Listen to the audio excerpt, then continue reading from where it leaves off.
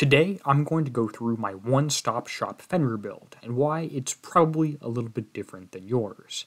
Hey everyone, Derpy here, and welcome back to another Battle Pirates video. Just to go ahead and get things started, I will mention that the build for this video is going to be shown in the Kixeye hashcode in the description down below. I do have a builds document which I've got all the different builds I have linked for the past several hulls and I'm continually updating. This project is of course made possible by channel members, so click that join button below if you want your name on here now.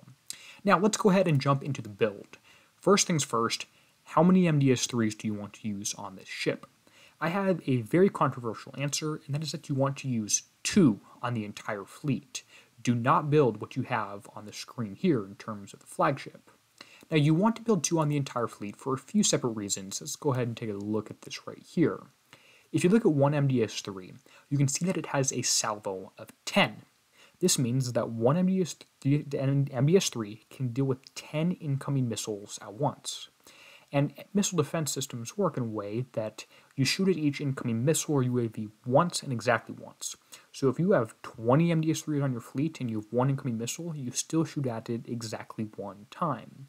Therefore, you should use the number of MDS-3s equal to the maximum number of incoming projectiles you expect to uh, come towards you, divided by 10. Now, what I'm going to go for on this entire fleet is I'm going to use two MDS-3s, but it is very important that you don't use them both on the same ship. That is, because while these do have a salvo of 10, it takes time, and it takes 0.2 seconds, between each MDS-3 being fired, meaning it takes an entire 2 seconds to empty out all your shots, and then roughly another 1 second to reload. Now, what this means is that if you have more than 10 incoming projectiles in 2 seconds, you're going to be overwhelmed. For this reason, I'm going to recommend that you have two regular ships, which are not the flag, that have MDS-3s on them and exactly one each. If you would like to go with four or five total across the entire fleet and play it safe, you are more than welcome to. But as of right now, I currently intend to stick with just two, but have them on separate ships. That is what my current plan is, and we'll go ahead and see if that continues.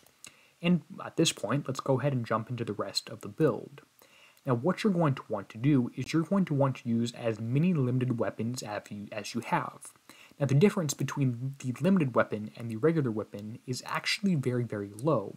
You can see all the stats are going to be exactly the same other than the damage, which jumps from 4,000 to 4.4k. In other words, a 10% benefit for using the limited weapon.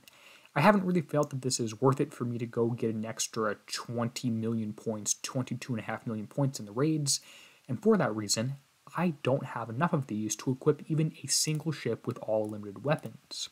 That's the sort of second reason here why my build is going to look a little bit different than yours.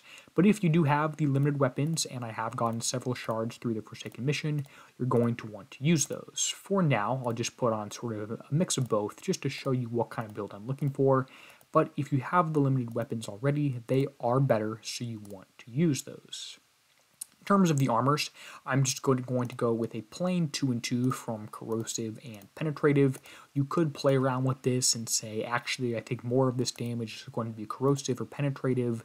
Uh, I think it's actually pretty even split this raid, but I'm usually whatever one I guess. If I put on 3 corrosive, it would be more missile. If I put on 3 missile, it would be more corrosive. So I'm going to go with just 2 and 2. You could think about potentially using some of the evade armor on here, which also gives you combat speed, which I would probably do if I wasn't losing the bonus damage and also losing, uh, or also I'd be, you know, decreasing my repair efficiency because these D5 EV armors do take 8 minutes to repair, so that is something else to think about. So I'm just, just going to use two of each.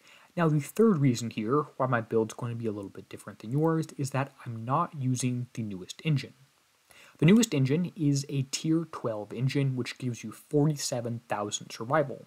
Seems like a big number until you start doing the math and look at the tier constant of this ship. Now you'll notice that I don't own it. That's because I can see and notice that the is 15, combat speed's 110, turn speed's 150, and I can see that actually the one from last tier, the sort of sacrilege engine, tier 11.5, has the same evade, same combat speed, same turn speed, and gives up a whopping 12,000 survival, which is not a lot in today's game. So I'm just going to go ahead and use the one from the last raid, or last last half tier ago. There's no sort of bonus on losing out for corrosive damage, and that's perfectly fine by me at the same combat speed. Now you're probably using the better engine because you probably have it, because it was probably worth the points to you, or you didn't look at it. In my case, it wasn't worth it, so I didn't get it. That's the old engine. It will also be available in the TLC coming later this month, so if you don't have that, you can sort of throw on the old one or just wait until that TLC comes out. In terms of special slot number two, this is going to be Corrosive Battery 3. If you don't have this, surprise, surprise, Corrosive Battery 2 is likely your next best option. I do try and give next best options for you for these builds here, in case you're a newer returning player and don't quite have the best thing out there. Corrosive Battery 2 is not going to be a horrible option. So let's go ahead and just throw that on there. You can see that the uh, damage is higher, you know, not significantly, but it is higher than Corrosive Battery 2, so you're probably going to want to use it. And every little bit does add up here. The third special slot, I'm going to continue to use something, the Centrifugal Loading System. If you don't have this uh, twin Fang Feeder, which is a regular blueprint. Actually, I lied. It's uh, one of these limited once again here, but this is tier 9. You can get it by scrapping old things. Uh, centrifugal loading system is the best thing for this one. It gives you multi-shot, gives you scattergun reload, corrosive damage, all very, very nice things, although the scattergun reload is slightly less effective. Special slot number 4 is going to be a limited special, and this is the Chaff Splitter system. Tier 10 came out with the ships that did some DOT. I can't remember their name off the top of my head here. But the Chaff Splitter system is really, really useful because it gives you three very important stats and one that's kind of okay. First of all, you have multi-shot, which is nice because it does give you a bonus there. Uh, you shoot, you have a multi-shot stat already on your weapon. This is going to increase your damage by 25%, which is pretty nice. The corrosive damage is, of course, just going to give you 20% help. You're going to do 20% more damage with it than without it, which is nice. And then the anti-missile accuracy is uh, okay. On actually, the anti-missile accuracy is incredibly important and you want to use the corrosive uh, or whatever sort of anti-penetrating special, which has the most anti-missile accuracy in the game here, which is plus 50% at the very bottom. The range is plus 75%.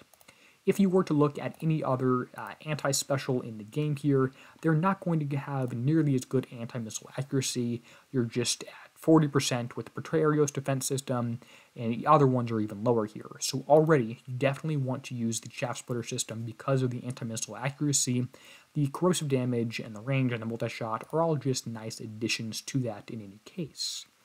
Now, the really interesting thing is that this actually stacks with another anti-missile accuracy stat in the game, which is going to be very, very powerful, and that is the iron fur plating.